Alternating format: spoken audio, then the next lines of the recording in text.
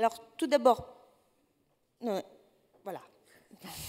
Tout d'abord, est-ce que je peux vous demander de vous présenter? Parce qu'il y a effectivement votre nom et votre rôle derrière, mais pouvez-vous vous présenter? Bonjour. Bonjour. Je suis très heureux d'être parmi vous pour euh, échanger sur euh, ce sujet extrêmement intéressant. J'espère qu'on aura, euh, que je pourrai vous apporter des éléments de réflexion intéressants, je dis bien de façon assez, assez, modeste, assez modestement quand même. pour répondre à cette question, donc Frédéric Laurent, je suis directeur général adjoint du, Crédit Mutuel Arkea, en charge du pôle innovation et opération pour faire simple, euh, opération, ça veut dire euh, c'est l'usine euh, bancaire et financière et, monétique au service des différents distributeurs du groupe, qu'ils soient des groupes du, l'interne ou que ce soit des distributeurs externes, puisqu'on fait une activité de, B2B. Et la partie innovation, c'est la partie innovation est une innovation technologique, à base technologique, avec un, souhait d'essayer de, de dénicher l'innovation de, l'innovation de rupture. À titre personnel, je suis un, grand, un grand fan, entre guillemets, de, tout ce qui est biométrie. Donc j'espère que j'arriverai à vous convaincre que la biométrie est une nécessité pour euh, beaucoup d'usages, en particulier la sécurisation, on en parlera tout à l'heure. Alors justement, pourquoi cette volonté, puisqu'on va rentrer directement dans le vif du sujet, pourquoi cette volonté d'utiliser la biométrie?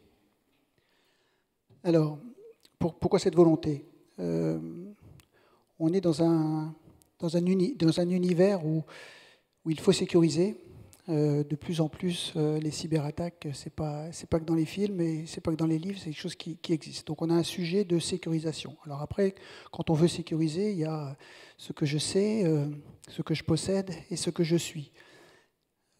Le, souhait d'aller sur la biométrie, c'est parce que nous considérons que c'est le, le moyen le plus fiable, c'est-à-dire c'est le ce que je suis est beaucoup plus infalsifiable que ce que je sais ou, que ce, que, ou le, ce que je possède. Donc on pense réellement que demain, si on veut réellement sécuriser, authentifier cette, sécuriser cette authentification, la biométrie est, est incontournable. Donc c'est vraiment sur cet aspect-là. Et pourquoi la biométrie? Parce que la biométrie euh, a un côté simple. Et c'est vrai que plus on parle de sécurité, plus on contraint euh, le client dans ses process, dans ses possibilités de faire des choses en temps réel, pour des raisons de sécurité. Or, tout un chacun, je pense que vous êtes comme moi, tant que vous n'avez pas été hacké, tant que vous n'avez pas été, euh, votre carte n'a pas été piratée, la sécurité, c'est pas votre sujet. Donc aujourd'hui, on a trop tendance, on a trop tendance, nous euh, banquiers, à pour sécuriser mettre des contraintes euh, au niveau de, au niveau du, au niveau du client, au niveau de son parcours client. Aujourd'hui, pas mal de banquiers ont, retiré des opérations qui il y a quelques années étaient en temps réel, ils ont retiré euh, de leur site mobile ou autre en temps réel en mettant en disant bah, il faut maintenant 24 heures, il faut 48 heures pour avoir un nouveau euh, bénéficiaire parce que c'est euh, trop, trop risqué. La sécurité est aujourd'hui en train d'engendrer une régression sur le service client. Après, quand j'entends les grands théoriciens, plutôt côté inspection, réglementation, qui disent un mot de passe, ça doit être 16 caractères et, et changer tous les trois mois, vous voyez bien que pour le client, c'est super simple. Est-ce que vous pouvez nous présenter rapidement le projet biométrie et, paiement mobile, c'est-à-dire en fait les racines de ce projet? Parce que je ne suis pas sûre que toutes les personnes dans la salle aient connaissance de ce projet. Bien sûr. Euh, bon, les, racines, les racines, elles sont sous deux angles. Hein. Le premier, c'est du travail sur les paiements, et le deuxième, c'est une réflexion sur, euh, la biométrie. Aujourd'hui, le moyen de paiement de demain que nous envisageons, c'est plutôt euh, plutôt le mobile que la carte. Donc comment faire un geste simple euh, avec, un, mobile pour payer? Et donc pour pouvoir reproduire un geste simple de la carte, qui est aujourd'hui une carte NFC, c'est quand même très simple, le geste est très simple pour payer jusqu'à 20 euros et, bientôt 30 euros, mais pour payer jusqu'à 20 euros, un geste avec une carte en sans contact, c'est très simple. Et on s'aperçoit que l'usage du sans contact explose. Aujourd'hui, euh, il y a de plus en plus d'usagers du sans-contact et ceux qui utilisent le sans-contact l'utilisent de plus en plus souvent. Et donc la, façon que on, s'est dit pour euh, comment peut-on faire un paiement avec autre chose que la carte, donc le mobile qui est l'outil que tout le monde a dans sa main, avec un geste qui reproduit un geste, euh, un, geste simple. Et donc la biométrie s'est imposée puisque si on est correctement agile de ses doigts, on est en capacité de, de mettre son empreinte digitale là où ça va bien sur, euh, sur le smartphone et de faire du même geste, de reproduire le geste de la carte. Donc, c'est, de là, c'est là la racine. On s'est dit comment en faire un geste simple et un geste simple pour le client et facilité par euh, la biométrie plutôt que rentrer un mot de passe euh, ou, autre chose. Et donc par ce système-là, on, a, on a reproduit, on a touché nos deux aspects, comment faire un paiement son mobile avec un geste simple, et donc un parcours client simplifié. Euh, justement, quels sont les premiers retours de vos usagers, de vos clients et aussi des commerçants, puisque c'est les commerçants qui sont les premiers aussi impliqués euh, par ça? Alors donc on a fait un POC il y a un an et, nous allons déployer euh, le mois prochain. on est toujours en novembre. On est toujours en novembre. D'accord, donc c'est bien le mois prochain qu'on déploie. Donc lorsqu'on a fait notre POC, il devait valider deux choses. Le POC, il devait valider, d'abord, il devait valider que les clients apprécié de payer avec un smartphone plutôt qu'avec une carte. Là, on n'avait pas trop de doutes, et c'est clair que ça, ça, a été confirmé. Et on, et on donnait la possibilité aux, clients soit de saisir un, mot de passe, soit d'utiliser la, biométrie. Ben, c'est 80-85% des, des, clients ont utilisé euh, la biométrie pour, euh, pour, faire, pour faire le paiement. Donc ça a confirmé qu'en fait, la biométrie, en tout cas peut-être on en reparlera tout à l'heure, mais ce type de biométrie, qui est donc l'empreinte digitale, n'est pas quelque chose qui pas quelque chose qui fait peur. Au contraire, c'est quelque chose qui est plutôt bien bien accepté par euh, bien accepté par le le client. Et après le commerçant, alors euh, pourquoi on n'a pas déployé avant, mais c'est qu'il y a aussi euh, un besoin de que les commerçants soient tous déployés sur des TPE NFC. Donc il y a une il y a une injonction gouvernementale pour y aller. On doit être à peu près, avant la fin de l'année, on sera à 60% des TPE qui seront. Et puis, euh, on peut considérer qu'au premier semestre 2017, euh, l'ensemble des, TPE, ou quasiment l'ensemble des TPE, seront en, technologie NFC et accepteront donc le paiement, euh, soit de la carte sans contact, soit, par, un mobile. Et donc, avec ce déploiement, on s'aperçoit quand même que les, commerçants sont, ils trouvent ça plutôt sympa. Donc, il y a les commerçants qui découvrent et qui sont contents de, voir un nouvel usage. Puis il y a les commerçants qui sont un peu professoraux, euh, ils sont un peu euh, pédagogiques, qui sont à vous expliquer comment il faut utiliser le smartphone pour, euh, pour, aller, sur le, pour aller sur le TPE. Donc aucune réticence, voire plutôt une curiosité. Alors une curiosité liée à la mode, j'imagine que dans un an ou dans deux ans, ça sera passé de mode. Mais aujourd'hui, en tout cas, c'est plutôt une acceptation aussi bien du côté du client que du côté du, du commerçant. Donc aucune peur de la part des clients justement de ce côté euh, biométrique, de ce côté un peu euh, nouveau euh, avec ces paiements, ou au contraire une, plus grande confiance dans leur paiement Alors, il y a deux, je dirais, il y a deux, aspects sur votre question, Catherine. Il y a, il y a, l'aspect sur cette, il y a l'aspect de cette biométrie et il y a l'aspect du paiement. Donc, on va dire que le paiement avec cette biométrie-là, aucune réticence, voire même plutôt euh, une très bonne appétence des clients à utiliser euh, la biométrie avec euh, l'empreinte digitale. Donc là, après, il y a le sujet de est-ce que les clients, face à tout type de biométrie, aura la même réaction? Ça, c'est moins évident. Et si je prends aujourd'hui, on est venu, je suis venu pour à votre, à votre demande de parler de, ce sujet d'authentification, sachant qu'on en a d'autres. Voilà, on va peut-être le garder pour la fin parce que je sais que vous avez beaucoup à nous raconter sur ce sujet-là. Alors moi, je vais aller un peu plus loin dans la biométrie parce qu'il y a un grand sujet du moment euh, dont tout le monde parle, c'est la GDPR. Donc la GDPR, euh, donc la nouvelle loi sur les données personnelles, dont la biométrie devient aussi au cœur de cette loi. Euh, je suis un peu étonnée que d'un côté, on ait euh, une réglementation européenne encore plus stricte et de l'autre côté, euh, on ait le droit de payer avec la biométrie sur mon téléphone. Alors, la GDPR. Donc la GDPR, c'est... on ne peut, je ne peux être que, que d'accord avec l'objectif. L'objectif, c'est de donner aux clients une plus grande visibilité, une plus grande maîtrise sur ces données personnelles.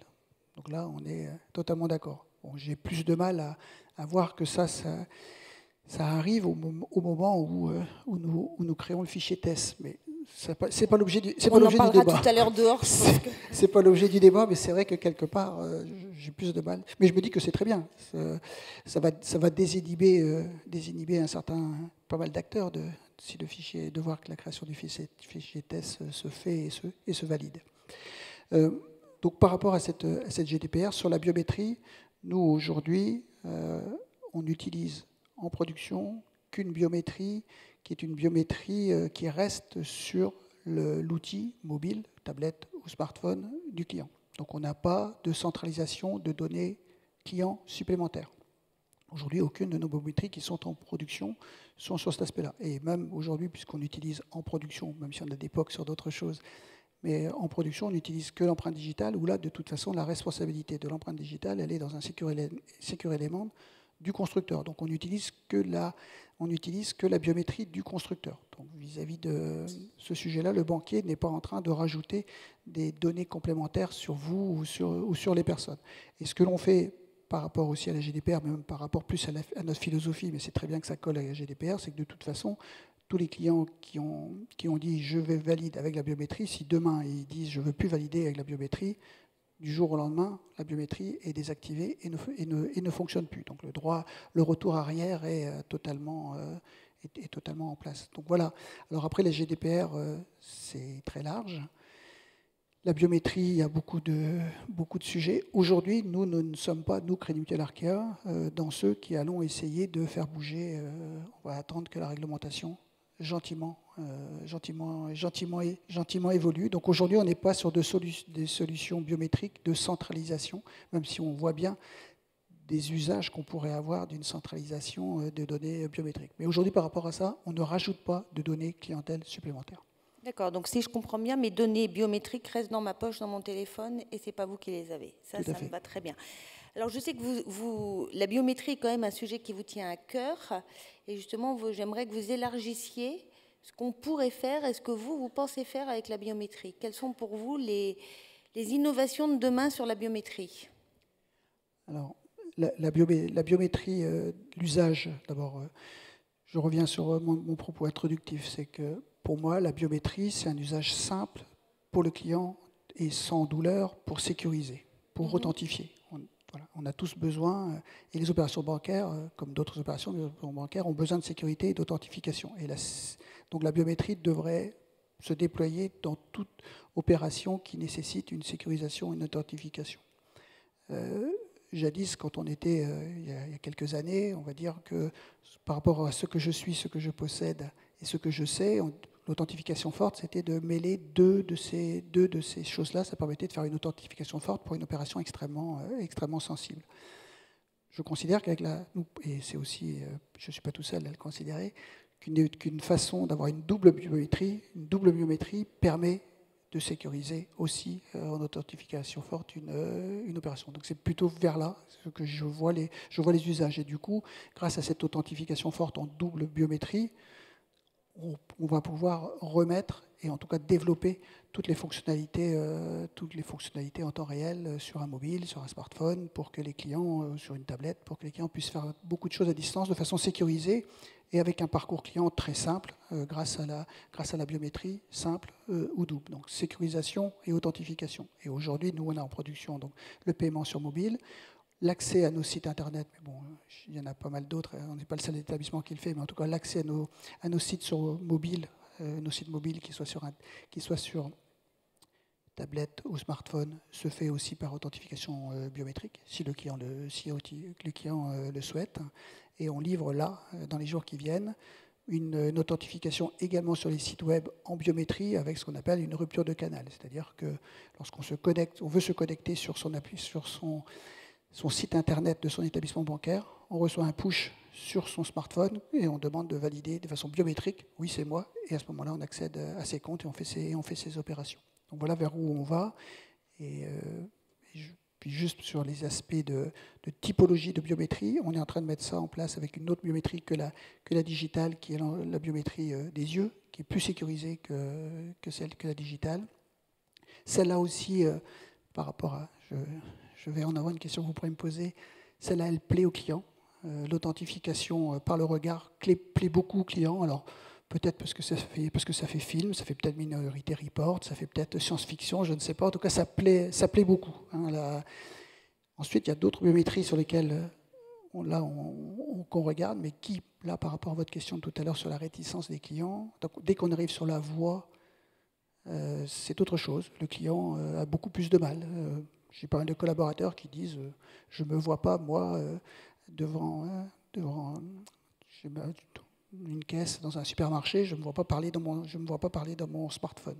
Donc après, je me dis, je me dis bon, lui il peut pas, mais il n'est pas tout jeune, donc je demande à des digital natives, puisque j'en ai deux à la maison, je leur demande. Et avec leur langage, ils me disent Ah non, moi parler dans mon smartphone à la caisse, no way, même pas en rêve. Bon, voilà. Donc il y a une vraie réticence, quelle que soit la catégorie d'âge, je dirais, sur l'utilisation de la voix. Et après, la dernière catégorie de, biométrie où là, il y a beaucoup, beaucoup, beaucoup de, résistance, de réticence, qui est le comportemental. Parce que d'aucuns considèrent que derrière, et sans doute à raison, il y a des notions de, Big Brother, il y a des notions de bah, si, réellement ils analysent mon comportement pour faire ça, ça veut dire qu'ils analysent mon comportement pour tout, et donc je suis complètement fiché. Voilà. Donc là, il y a beaucoup plus. Mais sur les deux premières, un développement, en plus les deux sont des biométries qui restent sur, euh, sur les smartphones, sur les objets, elles ont, un bel, un bel avenir et on va les déployer. C'est un peu long. Est-ce que vous voudriez euh, communiquer un dernier message? Qu'est-ce que vous aimeriez euh, dire pour conclure, avant les, avant les questions? Sans doute redire, sans doute redire ma, conviction que j'ai donnée en, en introduction, c'est qu'aujourd'hui, le digital, c'est une réalité. tous les process euh, se, se digitalisent. Et aujourd'hui, ma conviction, c'est que la biométrie est le, seul, moyen de concilier de façon euh, correcte la sécurité et la simplicité, pour le parcours client, parce qu'il ne faut jamais oublier la simplicité pour le parcours, le parcours client, parce que voilà. Merci beaucoup. Est-ce qu'il y a des questions? Ah, alors le micro, il est, il est, il a dit, ah non, il est là, il arrive. Bonjour, Charles Noérit. Euh, j'ai une start-up qui fait ce que vous faites. Ah, Donc, euh, j'ai une station, j'ai une question à vous poser. Euh, les paiements sont plafonnés? Comment? Je n'ai pas compris. Est-ce que vos paiements sont plafonnés? Est-ce que vous allez vers le MV On a plafonné nos paiements, on les plafonne au même niveau que les plafonds des cartes. Je voudrais vous parler après. Ah non, on a déjà le sujet du fichier TESS. On peut pas.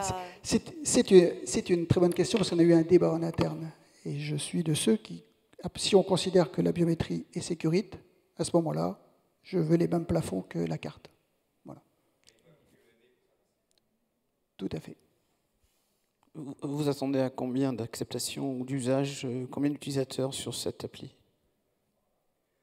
Alors combien vont venir vous, vous dire? Parce qu'aujourd'hui on n'a fait qu'un POC et donc c'est le mois prochain qu'on déploie. Euh, je ne sais pas. Je pense un engouement fort. C'est quoi un engouement fort en termes de chiffres? C'est quoi un engouement fort? Aujourd'hui, on a 60% euh, de nos clients utilisent tous les outils euh, mobiles. Donc, je veux dire, sur cette cible de personnes qui est digital non réfractaire, je, pense qu'on peut, on peut taber sur la, moitié des gens qui, à terme, seront, euh, seront des utilisateurs. Mais je pense que ça ira même au-delà. ça, fait combien en chiffre de personnes? Je ne sais pas combien vous avez de clients. Donc, euh. Nous, nous, on avons, euh, nous avons 3 millions de clients. donc, si vous faites la division, on arrive à 752 454. Alors là, une autre question. une autre question. Et face à Apple Pay, c'est pas un, combat du village gaulois contre. Euh, Comment? Face à Apple Pay, c'est pas le village gaulois? Face à Apple Pay, que voulez-vous que je, que voulez-vous que je vous dise euh, Apple Pay, euh, votre question c'est quoi? C'est est-ce que c'est un combat Ils sont plus forts que nous Sauf que ça marche, Apple Pay ne marche pas sur Android, quoi moi, j'ai une vision vis-à-vis d'Apple, parce que j'ai discuté avec les gens d'Apple. Moi, j'aimerais bien que le meilleur gagne, mais même pas tellement que le meilleur gagne. J'aimerais bien que le client ait le choix d'utiliser l'un ou l'autre quand il en a envie. Ce n'est pas la vision d'Apple. Apple, c'est eux ou personne. Moi, ma vision, c'est tout le monde. Et puis, euh, si les gens préfèrent Apple Pay plutôt que la solution la nôtre, je serais triste, mais, autre, mais pourquoi pas. Mais aujourd'hui, notre parcours client, il est tout aussi simple je ferai un peu de pub, sans doute même plus simple que celui d'Apple, mais ça, c'est, je ne suis pas forcément totalement objectif. Mais euh, voilà, donc je pense que les solutions de demain, on ne sait pas de quoi demain le client va, quelles sont les solutions qu'il va utiliser. Je veux dire, moi, j'ai pas de boule de, pas de boule de cristal. Je veux lui offrir des solutions bancaires. S'il a confiance en son banquier, je veux lui offrir une solution par son banquier qui, est, qui a un parcours client très simple. Après, j'espère qu'il l'utilisera. Est-ce qu'il y a une autre question?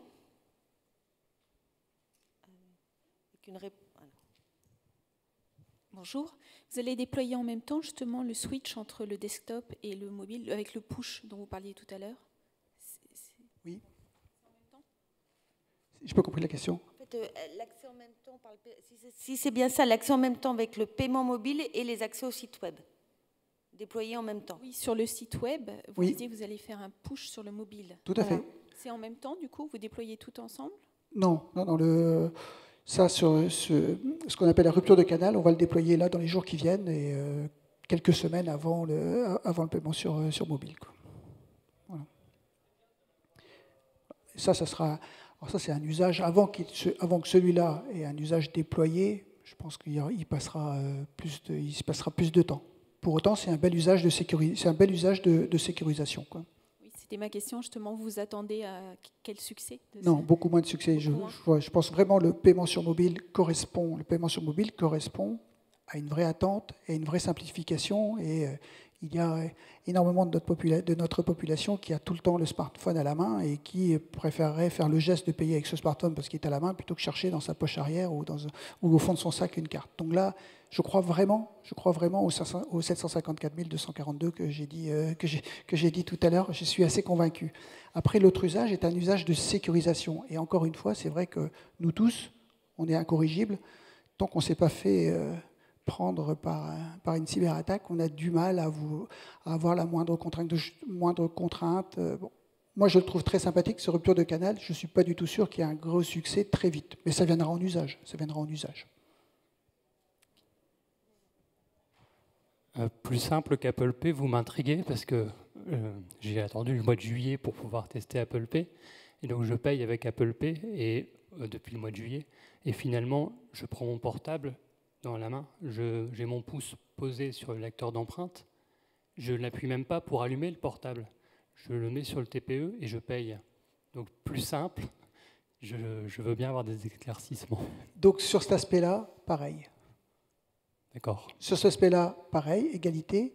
Je pense l'enrôlement, euh, l'enrôlement initial dans Apple Pay, étant pas un établissement bancaire, étant pas euh, détenteur des comptes, est un peu plus compliqué que l'enrôlement de mes propres au niveau clients. De voilà, au niveau de l'enrôlement. D'accord. Mais au niveau du quotidien, c'est le même. Et après, c'est au niveau du quotidien, pareil. D'accord. Merci.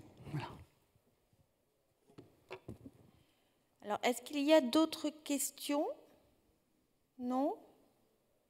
On a deux sujets à traiter dehors, ça on sait. Hein. Donc, euh, ben, je vous remercie beaucoup. Merci beaucoup Frédéric de nous avoir rejoints. Merci Catherine. Et euh, je pense que vous avez le droit à une pause tous.